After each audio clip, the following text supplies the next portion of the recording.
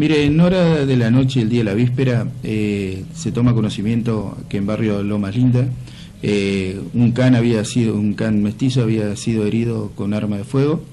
Inmediatamente personal se constituye en este lugar donde corrobora esta información.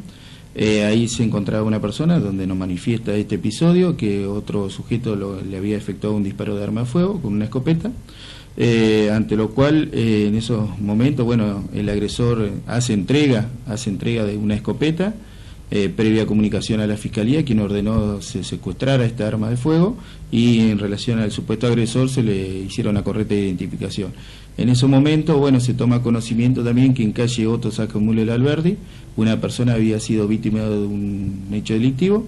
Una vez presente en el lugar personal de esta y al entrevistarse con este joven eh, de nacionalidad boliviana, eh, bueno, manifiesta que había salido del local de la ciudad de Ramírez eh, tomando el colectivo hasta, hasta Crespo, bueno, descendió y bueno, comenzó a caminar por esta arteria mencionada. En un momento se le acercó un masculino quien le sustrajo una mochila con alrededor de 10 mil pesos que tenía en el interior de la misma y bueno, sube una moto, ¿no? Y se dan a la fuga. Eh, uno, este agresor estaría ya eh, conocido por la víctima.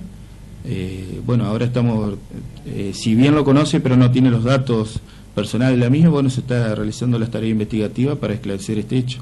¿Podemos decir el monto entonces? 10 mil pesos. 10 mil pesos es lo que manifestó que tenía la víctima en la mochila. Bueno, es, es de origen boliviano. El damnificado sí. Y es gente que tiene comercio en Crespo y en Ramírez. Sí, por eso le digo, él venía del comercio ubicado en la ciudad de Ramírez, bueno, tomó el colectivo y hace mención que minutos antes esta persona había estado en el local, así que seguramente ha estado observándolo y ya teniendo conocimiento de los del trayecto del viaje que él hace. ¿no? Ustedes están, seguramente, ¿no? Eh, están trabajando al respecto y hay pistas firmes. Sí, por eso le digo, la víctima la conoce.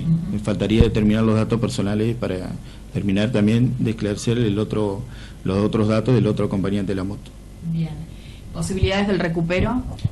Por, eso le digo, estamos trabajando en la investigación.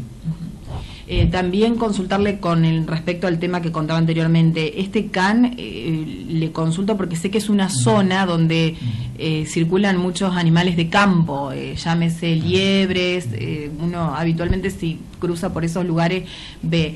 ¿La persona que atenta contra el perro tenía ese objetivo puntualmente o estaba en forma de Eso, eso está todo en vía de investigación. La persona se hace presente y hace entrega de, del arma con la cual supuestamente hirió a, este can, ¿no? Eh, ¿Y cuáles serían los pasos a seguir? ¿El animal se recupera? ¿Estaría en peligro? El animal fue visto por el médico veterinario acá de la municipalidad, el doctor Malabasi, quien va, nos va a hacer un informe y bueno, el perro está fuera de peligro. Bueno, eh, ¿algún otro dato que quiera aprovechar? No, sería todo por el momento. Gracias. Gracias.